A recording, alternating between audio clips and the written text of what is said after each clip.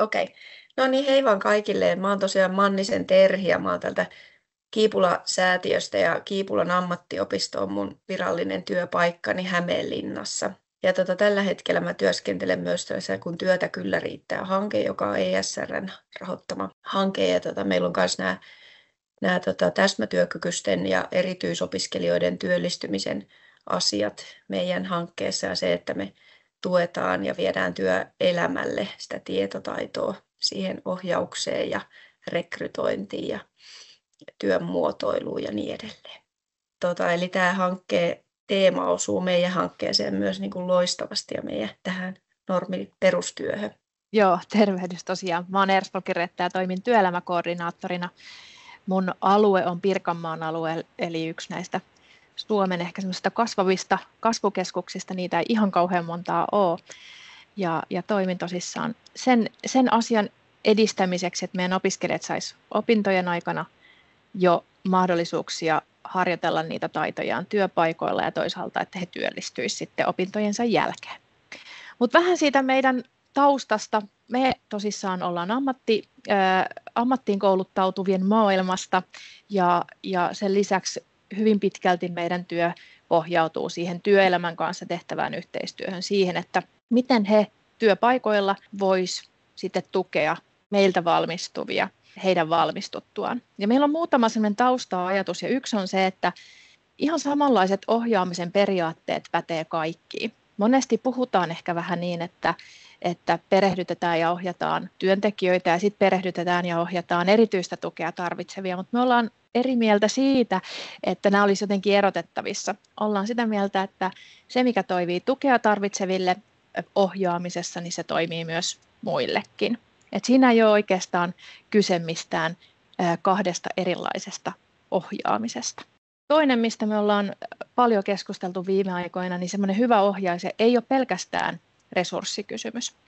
Toki isolla resurssilla, aikaresurssilla saa varmasti ja sellaisella perehtymisellä asiaan, niin saa varmasti aikaiseksi tosi hyvää ohjausta, mutta ohjaus ei ole pelkästään niitä hienoja ajatuksia ja isoja tekoja, vaan ne itse asiassa alkaa aika pienistä asioista.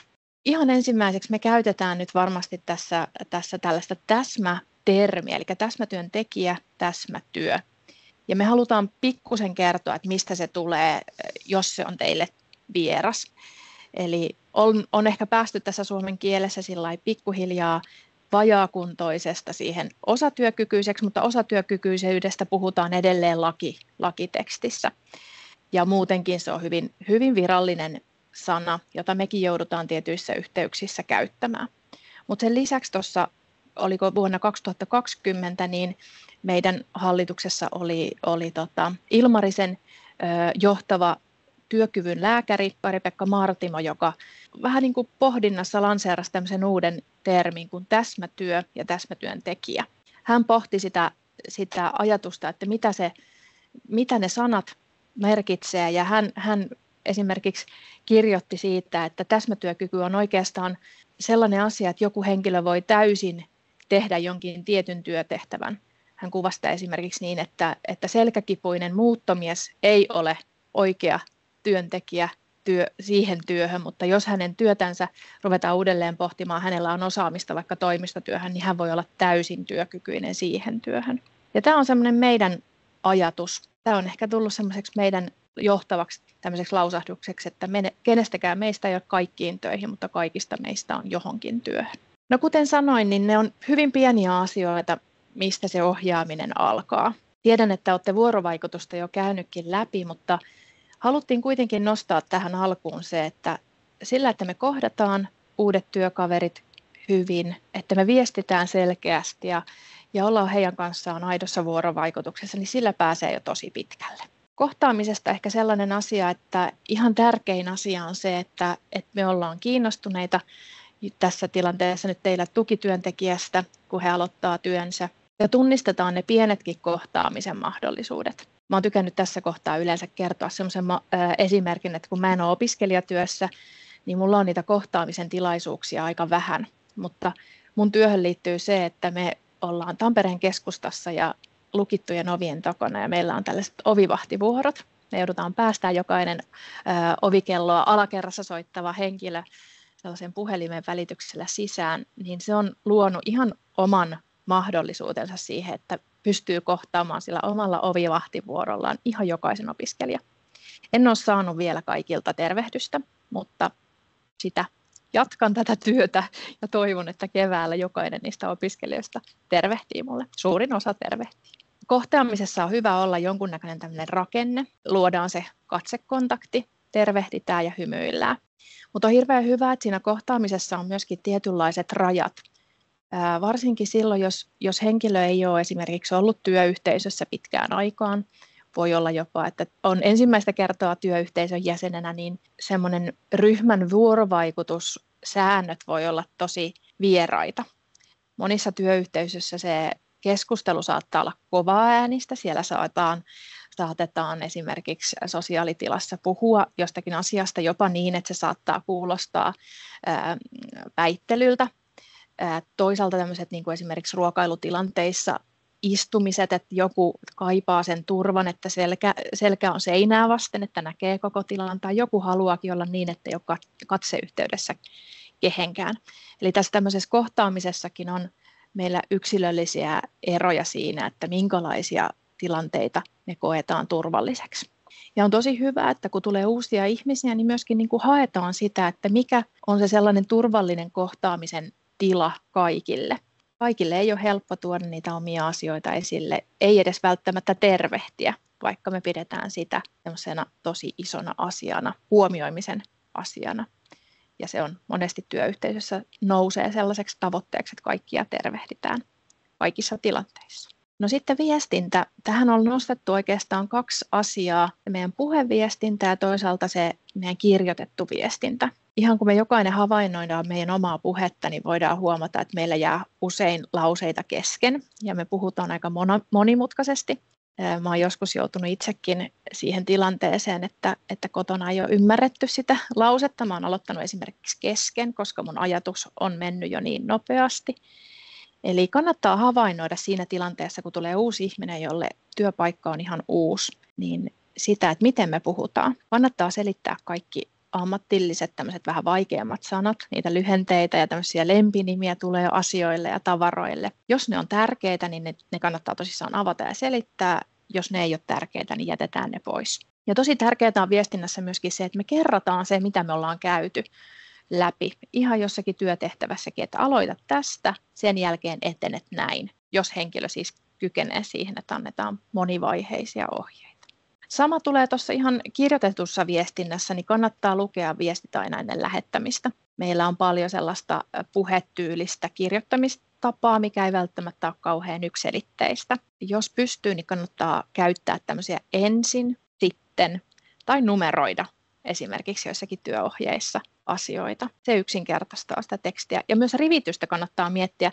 On yllättävää, että kun puhutaan selkeästä kielestä, niin rivityksellekin on tietynlaisia sääntöjä.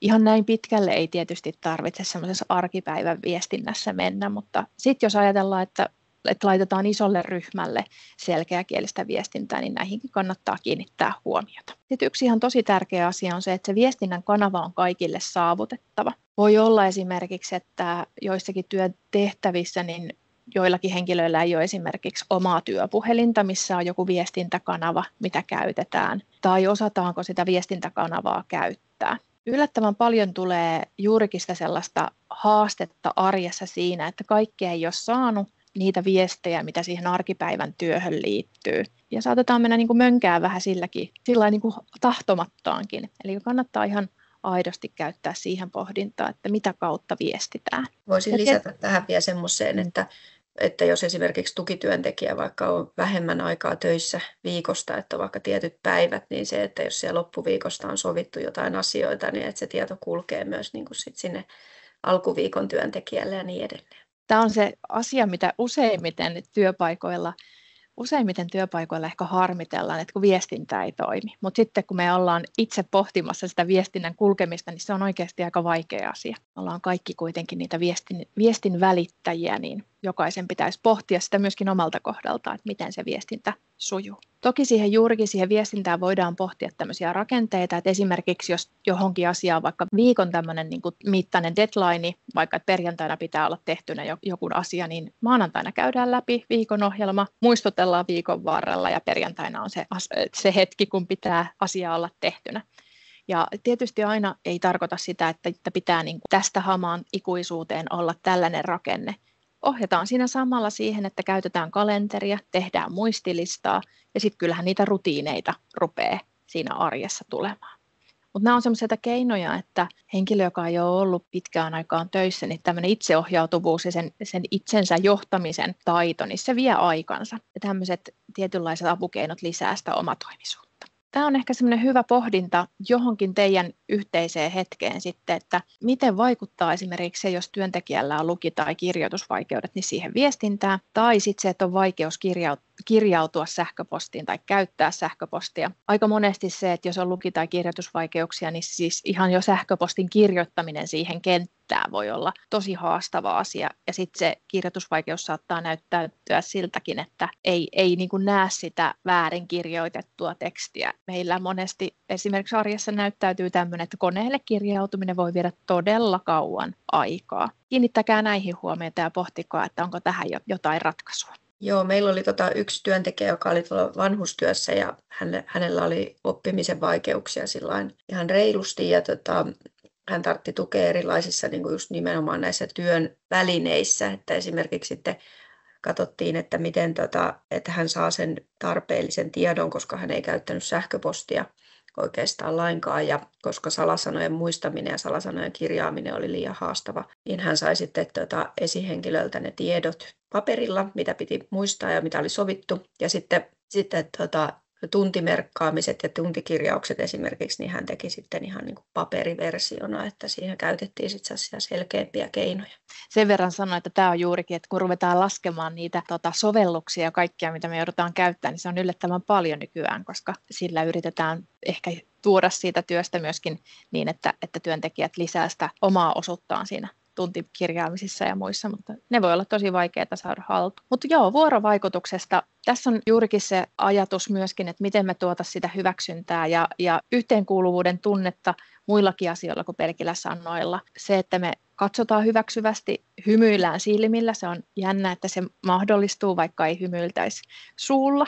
Ja toisaalta, kun me puhutaan, niin se hymy kuuluu myöskin puheessa. Eli kannattaa pohtia sitä, että minkälaisella niin kuin olemuksella me ollaan tilanteessa, kun uusi työntekijä, tukityöntekijä tulee paikan päälle. Ylipäätänsä, kun hän uskaltautuu tuoda asioita esille, niin kiitetään ja kuunnellaan. Ja, ja toki me tiedostetaan, että siinä uuden, uuden oppimisessa on aina se tilanne, että joudutaan antamaan palautetta, joudutaan antamaan korjaavaa palautetta, niin luodaan semmoinen turvallinen palautteen antamisen kulttuuri. Sen pitäisi olla kohdennettua eh, ja konkreettista, että tiedetään, että mitä pitää lähteä esimerkiksi kehittämään, mutta aina myöskin se hyvä palaute siihen samaan syssyyn, niin, niin tulee se sellainen onnistumisen tunne se on yllättävää, miten hyvällä palautteen allolla voidaan, pahata sanoa, mutta verhota tavallaan niitä asioita niihin, kau- niihin hyviin sanoihin. Sitten on myöskin kannattaa keskustella siitä, että miten toimitaan, jos tulee joku epäonnistuminen. Aika raju sana toi epäonnistuminen, mutta niitähän töissä tulee. Se, että me nyt vaan mokataan jollakin tavalla. Se voi olla joillekin tosi iso asia ja jollakin se saattaa tuntua, että kun se ensimmäinen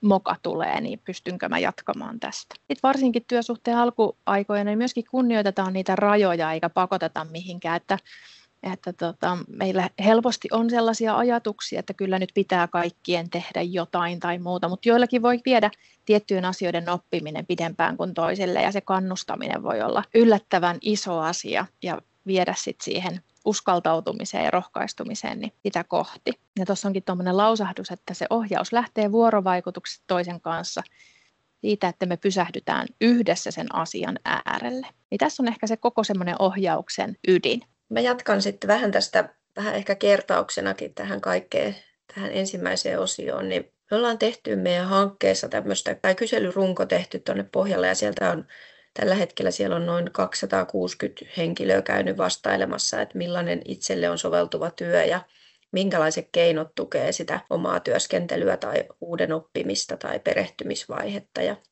millaiset työtehtävät soveltuu. Tuolla on lopussa linkki siihen kyselyyn, että jos haluaa itsekin käydä tutkailemassa ja vähän näkee erilaisia vaihtoehtoja sieltä. Mä otin sieltä vastauksista, eli tässä on nyt asiakkaat vastaillut näin, niin tämmöisiä kohtaamisia ja vuorovaikutuksen tärkeys ehkä näkyy näissä, että, että näistä vastaajista, niin 260 hengen vastauksista, niin 74 prosenttia ajattelee, että tota, hyväksyvä ja ystävällinen ilmapiiri siellä työelämässä on se kaikkein niin kuin tukevin asia, mikä, mikä tota, tukee omaa sitä työntekoa ja sitä luottamusta itseensä ja siihen niin kuin työntekijänä. Ja työkaverin rohkaisu ja tuki on melkein puolet sanoo, että se on niin kuin todella tärkeitä. Tauoilla juttelu muun työyhteisön kanssa. Et ehkä tätä ei niin kuin aina tule edes ajatelleeksi, että, että se ei ole pakosti kaikille itsestäänselvyys, että, että pääsee niin kuin jutte, juttelemaan tauoilla tai pääsee porukoihin sisään, että se saattaa olla aika jännittävä, jännittävä paikka ja siihen on ehkä odotuksia, niin että pääsee sinne työyhteisöön ikään kuin porukkaan mukaan. Se, että saa palautetta työstään, niin onkaan siis isolla prosentilla semmoinen koettu hyvin tärkeäksi, että saa sitä kannustusta, rohka- rohkaistumista ja sitä, että keskustellaan siitä, että miten se työ sujuu. Ja yksi tämmöinen sanallinen kommentti oli vielä nostettu tuohon, että, että tärkeää on se tasa-arvoisuus, että kaikki on yhtä tärkeitä ja kaikkia kohdellaan ja kaikille puhutaan samanlaisesti. No tota, mennään sitten sen toiseen osioon, missä on ehkä tota, vähän niin kuin tästä ohjauksesta käytännössä ja muuta tämmöistä tärkeitä asioita tähän liittyen. Eli me kun tullaan tuolta niin kuin vaativan erityisen tuen oppilaitoksesta ja meillä on paljon ehkä opiskelijoissa semmoisia, joilla niin kuin erilaiset oppimisen vaikeudet on niitä, minkä takia he tarvitsevat sitä erityistä tukea, niin tämä on ehkä meille semmoinen tosi, tosi tärkeä aihe, mutta on myös tehty ihan tutkimus, että työelämässä niin tota 20 prosenttia, eli joka viides niin työntekijä kokee, että semmoinen uuden oppimiseen niin liittyy vaikeuksia. Ja se ei tarko- tarkoita niin kuin oppimisvaikeutta, vaan ihan, että sellaista työssä oppimisen vaikeutta, vähän kuin sanat erikseen. Eli se on tosi iso määrä ja sen takia tota, on tärkeää miettiä niitä erilaisia keinoja, että mitkä sitten tukee kunkin oppijoita, että me ollaan kaikki erilaisia oppijoita. Ja tosiaan muistettava se, että vaikka olisi siellä vaikeuksia, niin se ei estä sitä oppimista kuitenkaan, eikä se estä sitä, että työntekijä ei olisi halua oppia. Eli on monia keinoja ja välineitä, jotka auttaa kutakin niin tota, käydään vähän läpi tuossa niitä kohta. Mutta ylipäätään vähän ohjauksen menetelmistä, niin tässä on tota, koottuna muutamia. Eli, eli yleisesti niin semmoinen asiat pitäisi ottaa niin kuin asiakokonaisuuksia kokonaisuuksina ja mennä hyvin konkreettisesti ne asiat läpi. Et yleensä se semmoinen konkretia ja vaihe kerrallaan meneminen niin edistää sitä ymmärrystä siitä kokonaisuudesta. Ja se, että pysytään siinä niin kuin hyvin konkretiassa eli niin kuin käytännönläheisissä asioissa, niin silloin se edistää kunkin oppimista ylipäätään. Sitten lopuksi aletaan yhdistää näitä vaiheita, että kun ollaan käyty läpi vaiheittain, eli vähän niin kuin pilkotaan alkuun ja sitten lähdetään yhdistämään kokonaisuudeksi, niin silloin lähtee sellainen työprosessi liikkeelle. Toistot ja kertaaminen, että sekin on hyvin yksilöllistä, että missä vauhdissa kukakin oppii, niin ettei oleteta, että jollekin riittää se yksi sanallinen ohjeistus. Eli tota, mieluummin sitä toistoja kertaamista, kunnes nähdään se käytännössä, että se asia on niin kuin sisäistetty ja siitä lähdetään niin kuin tekemään sitä työtä. Aina kannattaa tarkistaa vähän sitä ymmärtämistä, että, että ootko saanut kiinni tästä ohjeesta ja näytä vaikka, että miten, miten tota tekisit tämän ja, tai että mikä oli se seuraava vaihe. Että, että ikään kuin, että varmistetaan sitä, että se ohjaus on mennyt tota sinne ymmärrykseen ja lähtee siihen käytäntöön liikkeelle. Et monilla on tapana silloin, kun on niin kuin vaikeuksia, niin heillä on erilaisia niin kuin keinoja vähän niin kuin välttää sitä tilannetta, että saattaa nyökytellä, että on ymmärtänyt tai tota, että juu, juu, että tämä onnistuu tai niin edelleen, mutta että sitten kun mennään siihen käytäntöön, niin siellä saatetaankin huomata, että se ei ole niin mennyt vielä ihan läpi se ohje, eli silloin sen takia, että käytännön kautta mieluummin. No sitten me tästä myöhemminkin vähän puhutaan tämmöistä ohjeiden monikanavaisuudesta. Eli sillä me tarkoitetaan sitä vähän, että kullekin sopii erilaiset ohjeet ja vähän niin kuin monia kanavia pitkin. Eli Toiset tykkää, että voi tarkistella kirjallisista ohjeista ja pystyy omaksuun tietoa, tietoa tota, kirjoitetusta tekstistä. Ja toisella pitää olla aika selkeäkielisiä työohjeita. Ja se yleisesti ottaen niin kuin selkeäkielisyys kaikessa työohjeissa tukee meitä ihan jokaista. Toisille semmoinen kuvallinen ilmaisu antaa parhaiten sitä, että pääsee kiinni työtehtävät esimerkiksi valmiista vaikka siististä keittiöstä, kun hommat on hoidettu, niin kuva, niin se antaa sen mielikuva, että millainen tämän pitää olla tämän homman, kun se on loppuun hoidettu. No suure, suurelle osalle se mallin näyttäminen yleisesti on se semmoinen niin kuin oppimisen tapa ja ohjauksen hyvä menetelmä. Eli se, että näkee, kun toinen ihminen tekee ja sitten tehdään yhdessä ja sitten sit voi vielä vaikka kirjallisesti katsoa sitä ohjetta ja tarkentaa sitä vielä, eli sillä monikanavaisesti. Ja tuossa on esimerkiksi vinkkinä, että se tukityöntekijä voi ottaa esimerkiksi kuvia ja videoita ja käyttää niitä itse myös työohjeena. Eli se on aika nopea nykyisin ottaa niin kuin omalla kännykällä vaikka pieniä videopätkiä tai kuvia, jos toinen näyttää, että miten se kannattaa tehdä, niin sitten siihen on helppo palata. Niin kuin tuolla vähän aikaisemmin sanottiin, että kun näitä ammatillisia sanoja ja käsitteitä ja työpaikkakieltä on paljon, niin se, se on ehdottoman tärkeää, että ne avataan ja pidetään se kieli semmoisena selkeäkielisenä.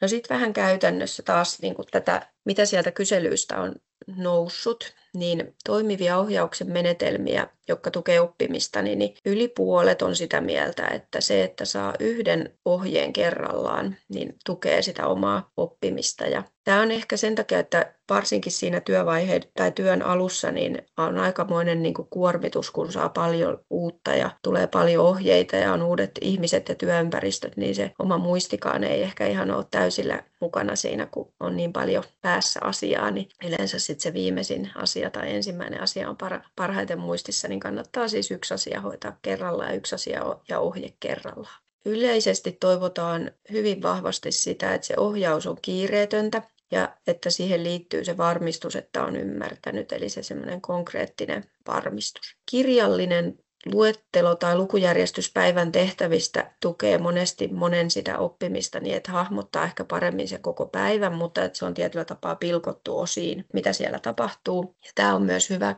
keino lisätä sitä omatoimisuutta sen perehtymisvaiheen jälkeen, että pystyy aina palaan siihen siihen tota työlistaan, että mitä siellä tapahtuikaan ja sitten siirtyy seuraavaan työtehtävään, kun edellinen on valmis. Ettei tarvitse aina sitten työkaverin ohjausta tähän, että nyt seuraavaksi hoida tämä ja tämä. Nämä kirjalliset listat toimii tosi monilla. No sitten, tota, jos tulee siellä työelämässä muuttuvia tilanteita, niin kuin tulee yleisesti ottaen paljon, niin tota, moni kaipaa siihen sit selkeän ohjauksen, ja varsinkin jos on sellainen työntekijä, joka tekee rutiininomaisesti niin kuin tietyt työtehtävät, niin saattaa olla, että kaipaa siihen ihan selkeän ohjauksen ikään kuin työtehtävien pariin takaisin, että pääsee käyntiin ja pääsee taas siihen omatoimisempaan työskentelyyn. Eli semmoiset muuttuvat tilanteet niin on yleensä semmoisia, että siihen tarvitaan sitten ohjausta takaisin työhön, mutta myös niissä ohja- muuttuvissa tilanteissa ihan selkeä ohjausta, miten toimitaan nyt. Eli kaikilla ei, kaikki ei tykkää semmoisesta tai ei sovellu se, että varsinkaan alkuvaiheessa, että huikataan, että hei, voiko se tulla tekemään tämän välissä tai muuta sellaista. Eli mieluummin, että saa pysyä rauhassa ja keskittyä niihin tehtäviin, mikä on sovittu. No sitten selkeä kielisyydestä on tullut monta kertaa, mutta täällä se näkyy kanssa, että vajaa puolet toivoo selkeäkielistä ohjausta. Ja se, että on sellainen nimetty ihminen, jonka puoleen kääntyä, on se sitten siellä työvuorossa tai ylipäätään, niin tietää, että kuka on semmoinen ohjaava henkilö, tuntee ehkä vähän paremmin. Ja sitten tota, täällä on vielä näitä, että uuden oppimista helpottaa, niin ää, työnhakija ihmiset, jotka on näihin vastannut, niin se työkaveri lähistöllä, 66 prosenttia, jolta voi kysyä neuvoa työpari, joka näyttää mallia rauhallisesti. Eli tämä tämmöinen työkaveri ja työpariajatus niin on aika vahvasti näkyy täällä uuden oppimisen help että ohjaamisen, joka tukee sitä oppimista. Ja se työpari, jonka kanssa saa harjoitella tehtäviä.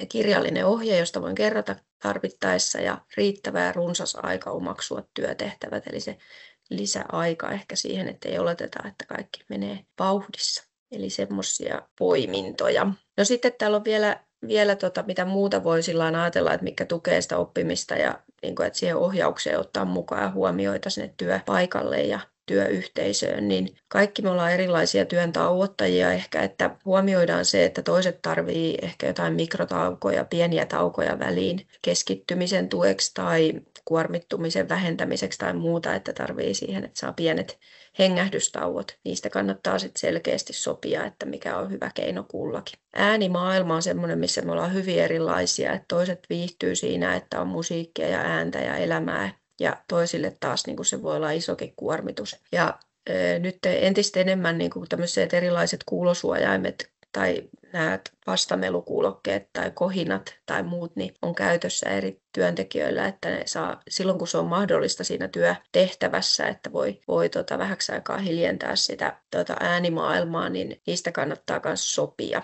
varsinkin nuoret on tottunut paljon kuuntelemaan tätä musiikkia ja se hyödyntää sitä omaa niin kuin, semmoista musiikkimaailmaa ja se tuo ehkä tiettyä turvallisuuden tai rentouden tunnetta tai mitä kullakin se tuo. Että näistäkin asioista on hyvä sopia, että onko se mahdollista tietyissä työtehtävissä, että voi kuunnella musiikkia vai pitääkö olla niin kuin, ehdottoman tärkeä niin kuin, turvallisuuden tai muun kannalta, että korvia ei voi sulkea pois. Sitten ehkä semmoiset niin tämmöinen hiljaisempi työympäristö, että onko mahdollisuus vaikka tietyissä työtehtävissä tai tiettyyn aikaan päivistä, päivästä, niin tota, onko mahdollista vaikka sulkeutua vähäksi aikaa johonkin hiljaisempaan työympäristöön tai semmoiseen, missä ei ole niin paljon häiriötekijöitä, niin se voi myös helpottaa toisten tota työntekoa. Nykyisin näissä kännyköissä ja muissa on paljon mahdollisia apuvälineitä, ihan aitoja apuvälineitä, eli ne ei ole aina, aina sitä somettamista, jos puhelin on mukana, että siellä saattaa olla esimerkiksi muistutuksia tai hälytyksiä käytössä, että pystyy hahmottamaan paremmin sitä käyttämään aikaa tiettyihin työtehtäviin tai muuta, tai muistin tueksi sitä työjärjestystä tai muita. Moni hyötyy siitä, että on sitä enemmän sitä aikaa yksittäisten työtehtävien oppimiseen, että toi on ehkä semmoinen, mitä me kuullaan tuo oppilaitoksessa eniten, että opiskelijat toivoo, että kun siihen perehtymiseen ja siihen uuden oppimiseen tarvii ehkä enemmän aikaa, että se on semmoinen hyvin tunnistettu tapa oppia kertausta ja toistoa. No sitten tota, me vähän tehtiin tämmöinen mukaelma tuosta ammattitaitoa yhdessä hankkeen materiaaleista. Siellä oli tämmöinen kuin erityinen tuki työpaikalla. Siellä oli tämmöinen seinätaulu ja tässä on ehkä vähän niin kuin kertauksena nyt. Te voitte sitten ehkä myöhemmin vähän pohdiskella näitä asioita, että onko nämä teidän työympäristöt sellaista oppimista tukevaa, oletteko huomioinut näitä asioita. Jes, eli no mennään sitten vielä siihen vaiheeseen, että sitten jos kaikki ei mene ihan niin kuin toivotaan ja sillain, miten on ajateltu, niin tota, jos tulee näitä vähän vaikeampia tilanteita siinä ohjaustyössä ja siinä ehkä sopeutumisessa työelämään, niin eli ylipäätään niin uskalletaan ottaa puheeksi, uskalletaan ohjata myös siellä vaikeissa asioissa ja vaikeissa tilanteissa, eli sillä päästään jo pitkälle. Se puheeksi ottaminen on niin kuin tärkeintä ehkä tässä vaiheessa. Kannustetaan työntekijää kyselee, ihmettelee, pyytään apua.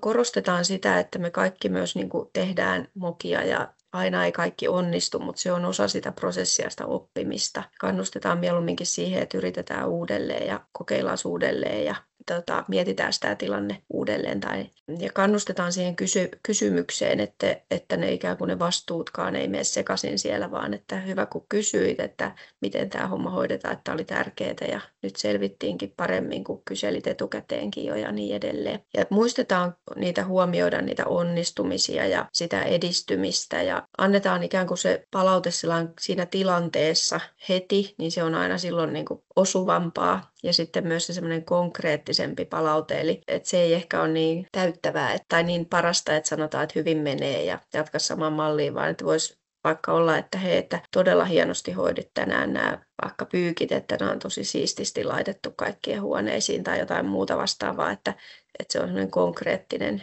palaute. No sitten semmoista ehkä ylipäätään nyt, kun tiedetään, että, että tota, nämä tukityöntekijät tulee sillain taustasta, joka että ei ole pakosti vielä ollut sitä työelämää takana tai ei ole nyt vähän aikaan ollut työelämässä takana, niin semmoista ennakointia, havainnointia ja keskustelua, että miten on sujunut ja miltä on tuntunut ja miten on jaksanut, että onko vielä työpäivän jälkeenkin ollut voimavaroja mennä vaikka hoitaa ruoka-asiat tai harrastukset tai muut. Semmoista kannustavia pieniä vinkkejä siellä arkeen, niin kannattaa viljellä. Myöskin, että miettiä, että sitten jos tuntuu, että, että jokin ei oikein meinaa sujua, niin sitten se kannattaa tosiaan ottaa puheeksi ja miettiä, että siihen niitä keinoja tai jopa työmuotoilua, että onko, kannattaako, onko tämä työtehtävä soveltuva. Eli silloin kun me otetaan nämä asiat puheeksi, niin silloin on mahdollisuus siihen muutokseen, mahdollisuus ikään kuin kehittymiseen. jos meidän on välillä vaikea itse niin kuin hahmottaa sitä tai ajatella sitä toisen niin kuin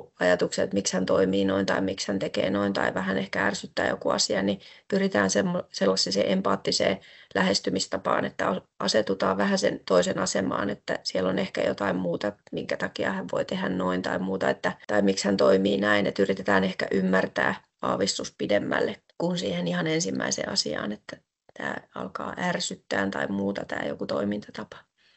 Mä voisin Terhi sanoa tuohon yhteen kohtaan, kun tuolla on tuo Joo. kohta, että keskustele työn kuormittavista tekijöistä ja jaksamisesta ja anna kannustavia vinkkejä ja ohjausta.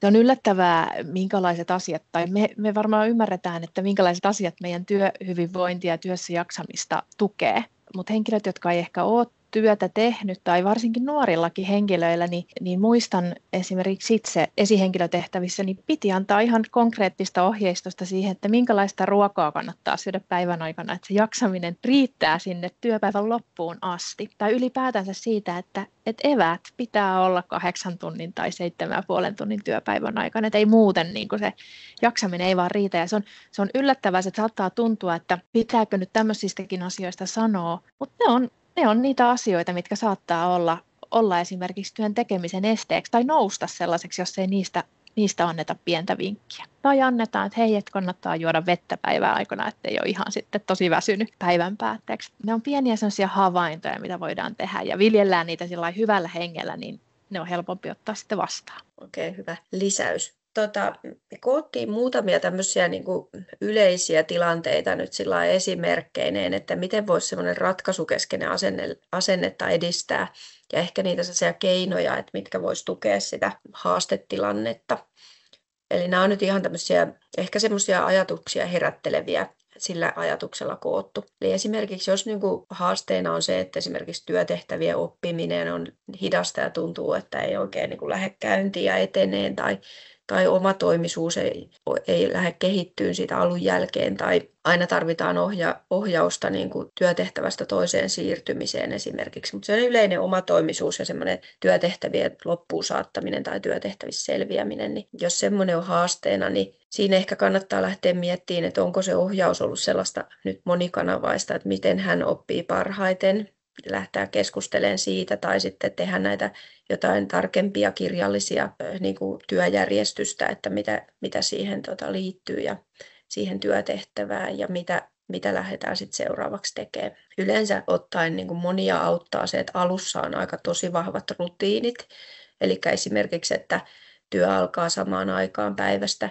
toistuu samat työtehtävät tai varsinkin ne, että se aamu, vaikka ensimmäiset työtehtävät on aina samat, että pääsee ikään kuin käyntiin siinä aamussa. Aamussa että tietää, että nyt mä tuun tähän ja mä aloitan vaikka nyt astian, astioiden laittamisesta tiskikoneeseen, että on joku selkeä semmoinen työtehtävä, mistä käynnistää päivä. Ja muutenkin, jos tuntuu, että se omatoimisuus ei lähde eteneen, niin yleensä se semmoinen rutiinit ja työjärjestyksen samona ylläpitäminen edesauttaa sitä, että lähtee tuota, tietää, mitä tapahtuu seuraavaksi ja lähtee se päivä hahmottaminen käyntiin paremmin. Ja toi keskey, pienet keskeytykset siellä työssä, niin tosiaan tietyille ihmisille se saattaa olla sellainen, että on vaikea palata siihen takaisin siihen rutiiniin tai omaan työhön. Että esimerkiksi kun tullaan huikkaa vaikka, että käytkö, käytkö heittää nämä roskat välissä tai muuta, niin se saattaa vähän sekoittaa sitä pakkaa.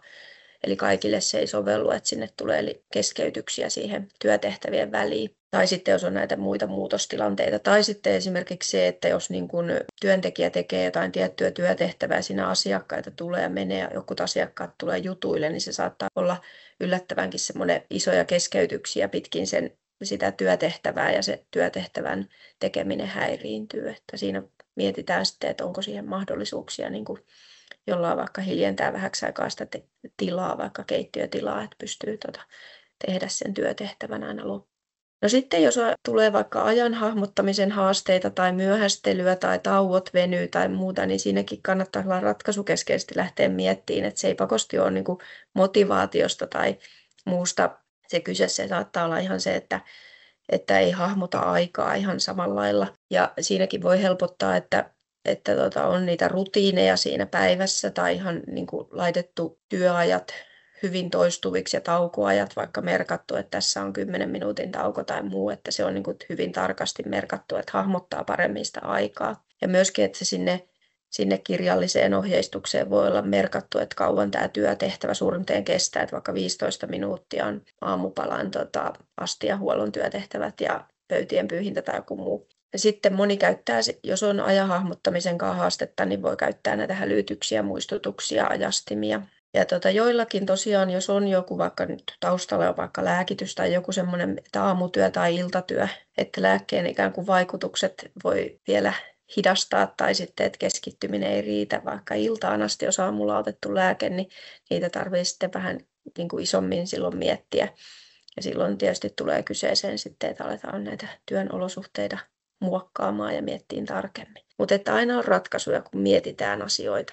No sitten siellä on esimerkiksi, jos olisi haaste, että se työ vähän jää niin kuin kesken, että joku joutuu siistiin siellä vielä paikkoja sen jälkeen, kun toinen on hoitanut hommansa tai se työhön keskittyminen tai siihen sellaiseen huolelliseen työskentelyyn, niin, niin jos ei se ihan toimi, niin useasti silloin kannattaa vielä tarkentaa sitä, sitä työtehtävää, että mitä siinä odotetaan ja esimerkiksi vähän pilkkoa vielä tarkemmin osiin sitä työohjetta.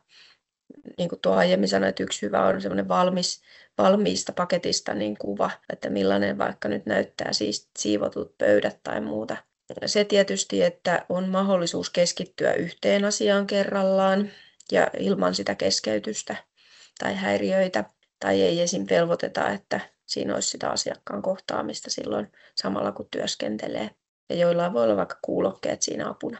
Sitten joskus siellä ihan taustalla voi olla esimerkiksi joku hahmotusvaikeus, joka, että kun pöydät on vaikka epäsiistit, ei, ei ole kaikkia pöydän muruja pyyhitty ja toinen näy, näkee te, tehneensä tosi tarkasti homman tai joku lakanan vaihto, että lakanat ei olekaan ihan niin siististi ja tiukasti, miten olisi hyvä olla ja toinen ajattelee, että ne on ihan täydellisesti tehty, mutta ei ehkä pysty vaan hahmottamaan sitä sitten, että siellä se työn jälki ei ole ihan sitä, mitä odotetaan, niin silloin tarvii sitten ehkä miettiä, että onko se soveltuva työtehtävä, että voidaanko se korvata jollain toisella. No sitten jos siellä näkyy sitä kuormittumista, motivaatiopulaa, väsymystä, tai jotain semmoista, niin esimerkiksi sitten silloin täytyy lähteä sitä pilkkoa sitä tilannetta, että mikä siellä on semmoinen työtehtävä tai tilanne päivässä, mikä on se vaikea kohta tai mikä aiheuttaa jotenkin epävarmuutta.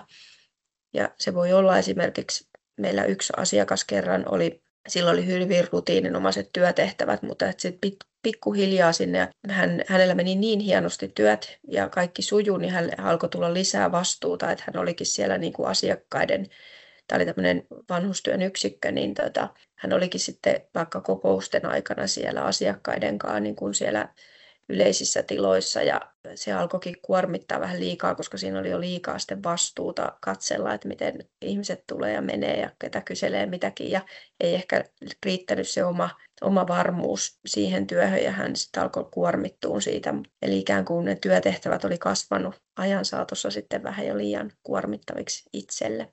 Sitten jos esimerkiksi ruoan jälkeen on hyvin väsynyt aina tai jotenkin se keskittyminen loppuu tai muuta, että sitäkin kannattaa sitten miettiä, että kannattaako siinä vaiheessa mieluummin lisätä esimerkiksi joku ulkoilutehtävä, että pääsee virkistyyn tai sitten onko hiljainen työympäristö silloin parempi tai muuta, että näitä voi aina miettiä ratkaisuja. Kaikkinensa, jos tulee sellainen tilanne eteen, että ei oikein löydetä mitään ratkaisua, niin aina voidaan asettaa joku päämäärä ja tavoite, mitä lähdetään edistämään. Eli miten lähdetään tässä asiassa eteenpäin. Se vaatii semmoisen luottamuksellisen keskustelun ja ilmapiirin. Nimetään se asia, mihin kaivataan se muutos ja tota, käydään sitä läpi, että miten lähdetään sitä edistämään ja nimetään jotain keinoja tai kokeiluja ja sitten tarkennetaan vähän ajan päästä, että onko se lähtenyt eteneen se asia ja sitten kokeillaan vaikka toistakin keinoa. Aina löytyy ratkaisuja, kun maltetaan kokeilla. Pohditaan vielä hetki, hetki tällaista asiaa, että onko meillä kaikilla ennakkoluuloja tai ylipäätänsä ennakkoluuloista hieman. Saattaa olla, että tulee mieleen, kun tätä pohtii, että eihän mulla sellaisia ole. Mutta sitten kun me ruvetaan pohtimaan niitä meidän ajatuksia, niin meillä saattaa tulla uuden, uudessa tilanteessa tällaisia ajatuksia esimerkiksi työssä, että miten tämä nyt vaikuttaa muuhun ja miten toi, kun hän nyt tulee tukipalvelutyöntekijä, jos ei se sitä tai tätä, niin miten se vaikuttaa mun työhön ja, ja mitä saaks mä lisävastuuta ja lisätyötä ja niin edespäin. Täällä saattaa takana olla ihan jopa sellaisia vähän ennakkoluuloisia ajatuksia ja asenteita. Oikeastaan sitä ei tarvitse hävetä sanoa, että niin on, koska meillä ihan kaikilla on ennakkoluuloa erilaisuutta kohtaan. Ne on tiedostettuja ennakkoluuloja, mutta hirveän paljon myöskin tiedostamattomia. Tiedostamattomat ennakkoluulot saattaa esimerkiksi vaikuttaa meidän valintoihin tai päätöksentekoon ja sitä kautta vaikuttaa meidän elämään tosi paljon. Sitten työssä meillä on ennakko-odotuksia, kun meille tulee joku uusi työntekijä, niin me toivotaan, että voi että kun osaisi tämän asian tosi hyvin, tai ajatellaan, että kyllähän nyt tässä vaiheessa, kun hän on ollut jo kuukauden, niin pitäisi osata tiettyjä asioita. Ja sitten voi olla tämmöisiä ennakko-oletuksia, että, että ihan kaikkien kyllä meillä työskentelevien pitää tehdä tällä lailla näitä asioita. Sinänsähän näissä ei ole mitään haitallista, jos ei ne vaikuta siihen, että miten me kohdellaan tai miten me asennoidutaan niin niihin ihmisiin, jotka siellä meidän työkavereina on. Tätä diaa tehdessä niin ruvettiin Terhin kanssa pöyhimään itseämme ja, ja oli aika hauska kuulla, että me, jotka on, ollaan erityisyyden ja erilaisuuden kanssa hyvin paljon tekemisissä, niin meilläkin oli ihan siis, pystyttiin myöntämään tiettyjä asioita. Meidän aivojen toiminta on tietyn tyyppistä, tietty poikkeavuus vaikuttaa siihen, että meillä tulee ehkä vähän semmoinen, me herätään, että pitääkö meidän olla varovaisia, pitääkö meidän jotenkin reagoida, pitääkö meidän paeta. Toisaalta olosuhteet, missä me eletään, mitä ympärillä tapahtuu, alueellisesti tapahtuu, ne vaikuttaa siihen, minkälaisia ajatuksia meidän sisällä rupeaa syntymään. Toisaalta mediahan luo hyvin paljon, on isokin asia siinä, siinä, että mitkä muokkaa sitä meidän ajattelua, vahvistaa tai ehkä myöskin sitten rikkoo ja muuttaa meidän ennakkoajatuksia. Historia on yksi. Myöskin se, että miten meidät on kasvatettu, mitä asioita me ollaan koettu, vaikuttaa siihen, että miten me suhtaudutaan tiettyihin asioihin. Yleisesti ottaen niin hyvin usein sellainen poikkeavuus ja erilaisuus herättää niitä tunteita. Tulee ehkä joitakin ihmisiä kohtaa myötätuntoa, mikä ei ole huono asia sinänsä ollenkaan.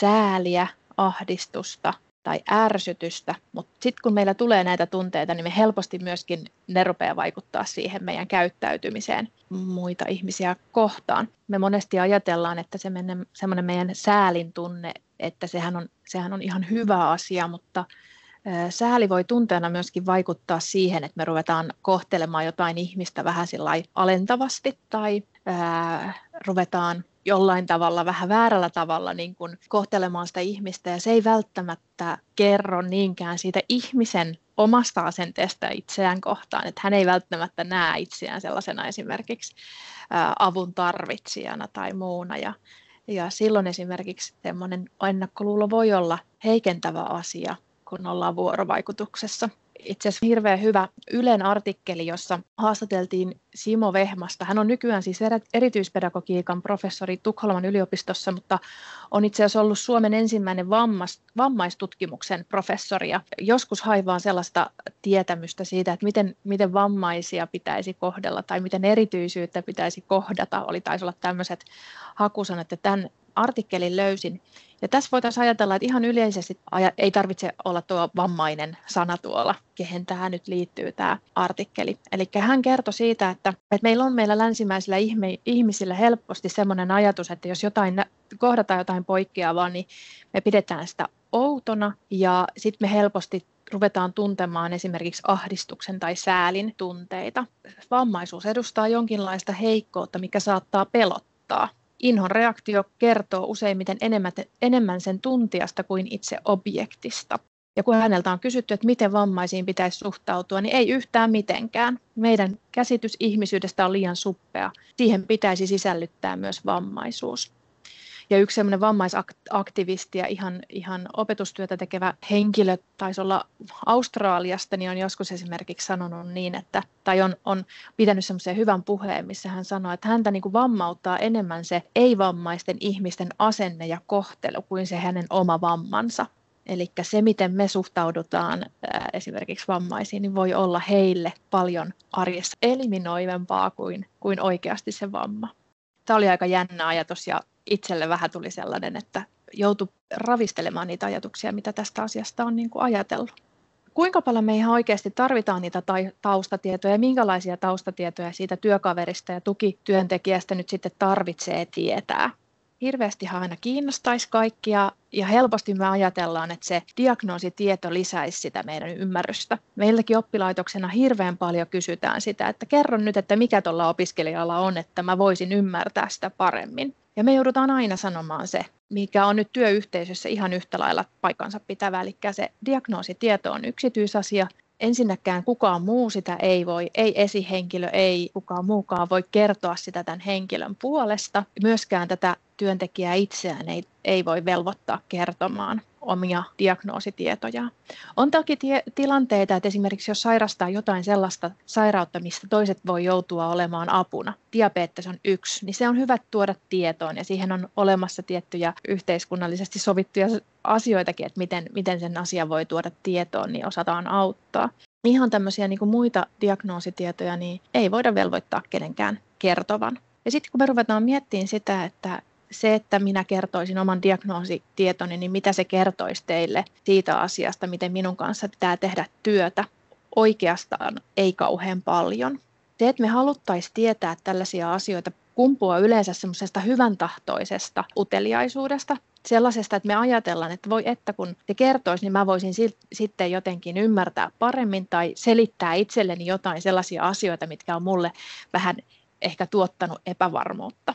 Mutta miten niistä asioista sitten puhua? Ensinnäkin, kun tulee uusia työntekijöitä ja nyt tukityöntekijöitä, niin muistetaan aina, että ei määritellä ihmistä, ei sen position mukaisesti, tai jos me saataisiin tietää hänen diagnoosinsa, niin ei sen senkään myötä. Puhutellaan kaikkia ihmisiä nimeltä ja muistetaan sellainen asia, että eihän meistä kukaan halua olla kahvihuoneen keskustelun aihe.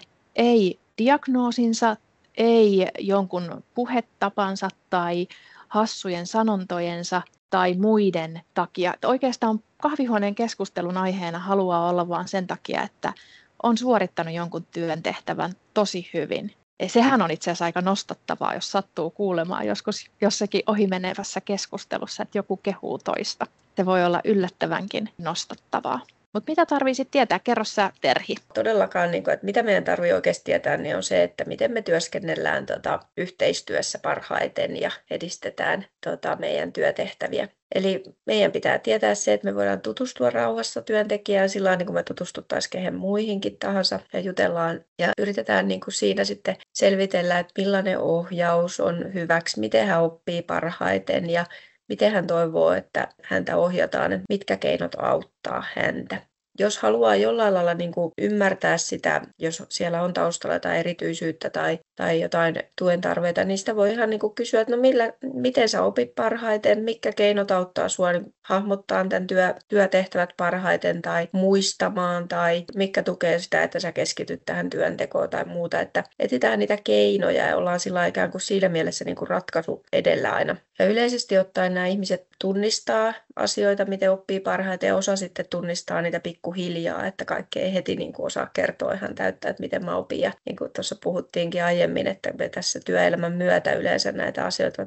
vähän ehkä tajutaan itse kukin, että kenelle soveltuu millainenkin työ ja mikä työskentelytavat auttaa itteensä, minkä verran tarvii omia muistilappuja ja niin edelleen. Mutta joo, eli tämmöisillä niin kuin yleisillä kysymyksillä voi niin kuin tiedustella sitä keinoja ja ratkaisuja, että mitä oikeasti meidän on hyvä tietää niistä, miten me yhteistyössä työskennellään parhaiten. Sen verran voisin vielä tuohon äskeiseen lisätä ja tähän meidän keskusteluun, mm. että eihän se tarkoita sitä, että jos saattaahan olla, että työntekijä haluaa kertoa sen, että tämä on jotain tiettyä haastetta ihan diagnoosin nimenäkin, mutta tässä ehkä juurikin enemmän vielä pyrittiin niin kuin tuomaan sitä esille, että se ei ole mikään sellainen tieto, mikä on pakko kertoa. Se on ne muut asiat, mitkä on, niin. mitkä kannattaa sieltä jotenkin onkia esille. Mieluummin tämmöisiä, tämmöisiä, että miten työskentelee ja keinoja siihen työntekoon, niin ne on tärkeimpiä meille kaikille. Ja parhaassa tilanteessa, kun me tutustutaan, jutellaan, tehdään yhteistyössä työtä, niin parhaassa tilanteessa me tunnistetaan sitä osaamista ja hänen kykyjään ja mitä hän tuo juuri teidän työyhteisöön lisää millainen persoona sieltä tulee teidän työyhteisöön ja mitä osaamista ja